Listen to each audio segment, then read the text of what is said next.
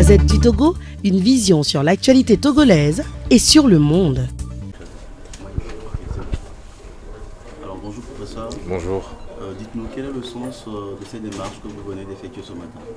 Après le forum des forces vives qui s'est tenu le vendredi 15 juin, forum qui a permis de produire un mémorandum, un mémorandum citoyen pour euh, une sortie pacifique de la crise togolaise, il était important que nous puissions rencontrer euh, Monsieur l'ambassadeur de la CDAO, sachant que c'est la CDAO qui intervient pour justement permettre la résolution de la crise togolaise. Nous avons donc rencontré Monsieur l'ambassadeur ce matin. Nous lui avons remis le document qui est donc la contribution de la société civile pour une sortie pacifique de la crise et nous avons eu l'assurance que ce document sera transmis à la commission de la CDAO, aux différents facilitateurs et même à l'ensemble des, chefs d'État qui composent cette communauté. L'objectif est que tout ce monde prenne connaissance encore une fois des véritables aspirations du peuple togolais et qu'on puisse en tenir compte dans la feuille de route qui sera proposée euh, au, Togo pour euh, sortir de cette crise. Quels sont les grands points de ce document? Nous insistons véritablement sur la nécessité de marquer une rupture avec le système de gouvernance que nous avons connu jusqu'ici et cela passe par la mise en place d'une période de transition. Nous proposons donc qu'il y ait un gouvernement de transition qui prenne en compte des priorités, remettre en place des institutions crédibles. Donc il faudra que ce gouvernement de transition euh, insiste sur la nécessité de, de, faire les réformes constitutionnelles, de faire les réformes institutionnelles et également les réformes électorales. Et au terme de tout cela, nous espérons aboutir à, euh, des élections qui seront crédibles, honnêtes et transparentes. Mais bien sûr, pour apaiser les esprits, nous insistons sur la nécessité de libérer tous les prisonniers politiques et tous les prisonniers d'opinion. Et je pense encore une fois à nos jeunes amis de l'association Nouboueke qui sont enfermés de façon totalement arbitraire. Je crois que tout le monde le sait et personne ne comprend plus pourquoi est-ce qu'on les maintient toujours en détention.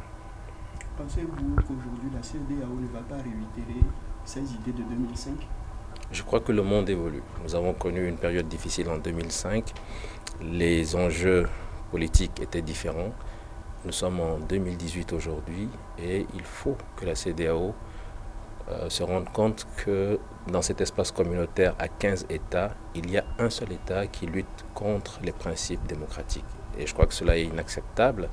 Et tout le monde a dit clairement qu'il fallait aujourd'hui faire en sorte que le peuple togolais connaisse aussi une alternance politique pacifique et que le, Togo s'ouvre vraiment vers la démocratie. Je crois que c'est une nécessité et tout le monde en est convaincu. Il y a peut-être des réfractaires, mais il faut faire en sorte que tous ceux qui freinent des quatre fers, on puisse gentiment les amener à reconnaître la nécessité d'ouvrir le Togo vers une nouvelle ère.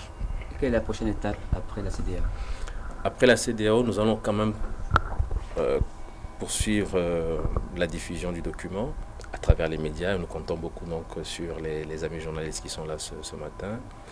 Nous allons rencontrer d'autres partenaires du Togo qui ne qui ne sont pas membres, membres de la CDAO, parce que nous savons bien sûr qu'en dehors des, des, pays membres de la CDAO, il y a d'autres institutions et d'autres partenaires qui font également de leur mieux pour permettre que la situation puisse s'améliorer dans notre pays.